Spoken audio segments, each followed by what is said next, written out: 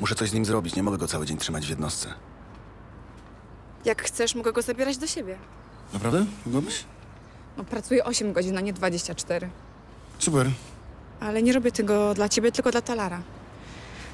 Dla ciebie mam coś innego, bo sam to się chyba w życiu nie domyślisz.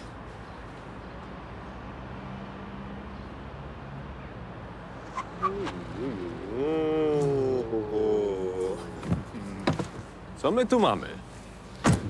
Wywołanie zgorszenia w miejscu publicznym. No cóż, będzie grzywna. A nie mówiłem, że nas wystawi? Po co my go w ogóle zabieramy, co? Przepraszam, zapomniałem. Y, Jolu to są moje szwagry. Andrzej, Jola, miło mi. Paweł.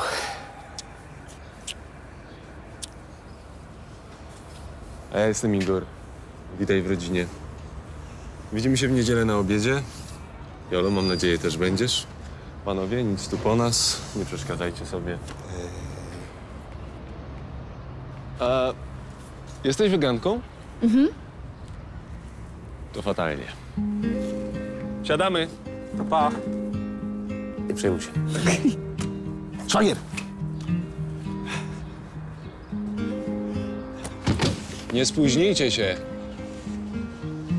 Na czym skończyliśmy?